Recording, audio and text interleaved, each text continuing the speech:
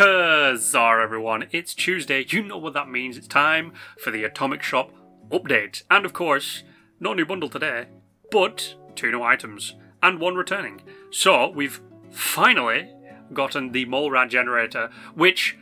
Oh dear sweet baby Jesus, I'm so glad that it's finally here because I've wanted this for so long and I did not know that in it there would be the dinky generator. It's so fantastic and beautiful and so cute. Look at it!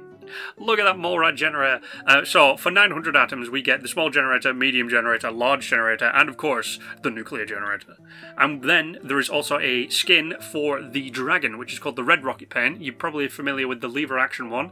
It's a nice uh, paint scheme, but personally it's not for me so I didn't get that one this time and then of course we have the horns and halos set which I don't think has been in the atomic shop for ages. Uh, I can't remember it being in at any time soon. And of course, the uh, Haunted House set is still down there, so if you haven't got that, it will probably still be there for you. But let's jump on into the game and check out these fantastic generators, which will be my new way of generating power now. So here we have the cute dinky generator and just look at him go.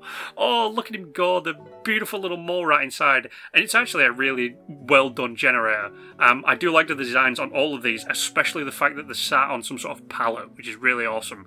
And Bethesda have outdone themselves with these. So here we have the medium generator, which has got two of the little mole boys running around inside.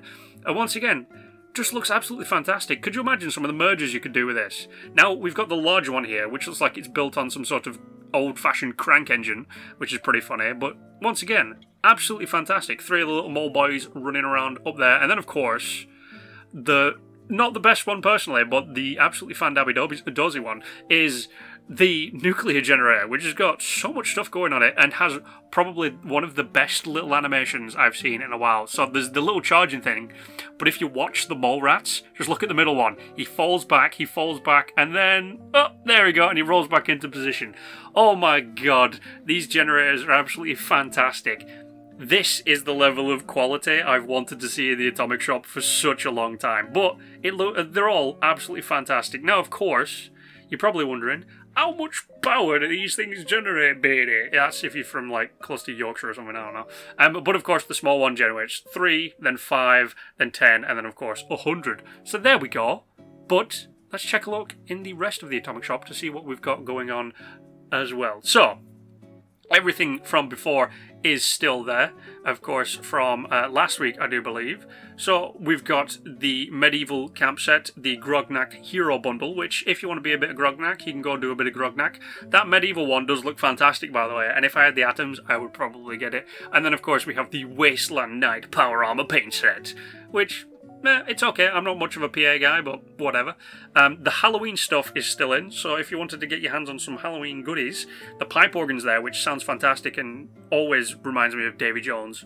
Um, but we also have the feral ghoul stuff if you want to look like a ghoul which sadly I wish this uh, we had the ability to actually be it. Now, on its way out, because it's in the leaving section, is the Red Rocket, uh, not the Red Rocket, and my apologies, the Nuka Cola truck and uh, Sweetie Pete, as he's called, is there. And then in the free stuff today, we've just got 250 caps, which is not bad. And then, of course, we've got the pool cue. Um, the traveling salesman outfit is once again back in. The Mothman cuckoo clock, which I might get because it looks fantastic, as well as the return of the uh, Corvega camp bundle. I always said that really weird sometimes, but there we go. That's what we have in the Atomic Shop today. I highly recommend you go and get those um, new generators. But apart from that, you guys know the drill, like, and subscribe. And until the next time, stay awesome.